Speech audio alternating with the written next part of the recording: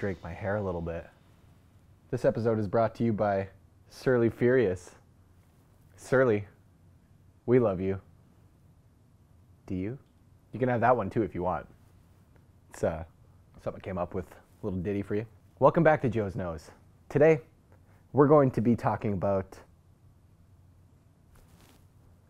Motivation. We're going to be talking about motivation today. I just motivated him to give me the line. That's what it's all about. It's about commanding people. It's about being able to look dead in someone's eyes and say, I own your soul. The biggest thing when it comes to motivation, it's, it's about that self motivation, right? How can you motivate other people if you can't motivate yourself? Can't get your lazy butt out of bed. Breakfast in bed, it's unacceptable. It's sloth-worthy. One time I was motivated by, uh, by an uncle of mine. He, uh, he motivated me, very simple means, uh, gunpoint.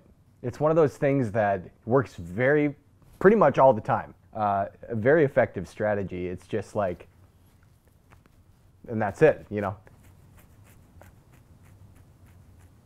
Some people are motivated by money.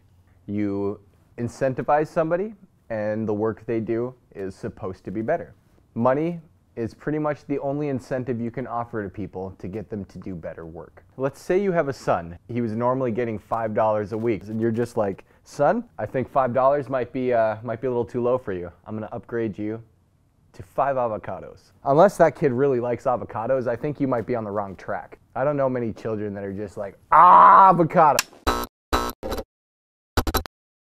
Got poop in your ears?